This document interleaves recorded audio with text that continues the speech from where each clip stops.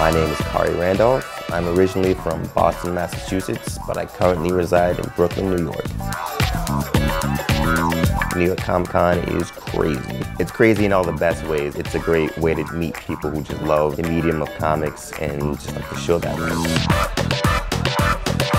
I'm Garrett Oliver, brewmaster. New York Comic Con came to us and said, you want to do a beer around a character?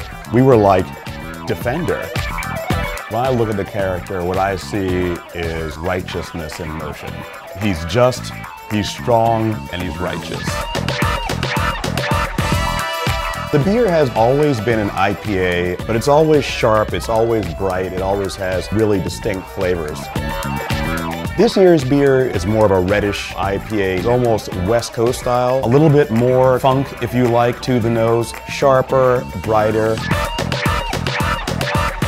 If you've ever been to any New York Comic Con after party, you would know that comic book creators love beer. it's kind of crazy to me how, how similar our jobs are. Yeah. They tap into similar qualities. It's about having a good time. If you're going to make a great beer, you have to have something to say, which is the art, and you have to be able to actually say it. That's the science. And it's the same with drawing a comic. You know, you have to have something in your heart to express. But if you have no technical skills, you can't put a vision on the page. And it's really having both of those things that makes art. And that's what we do.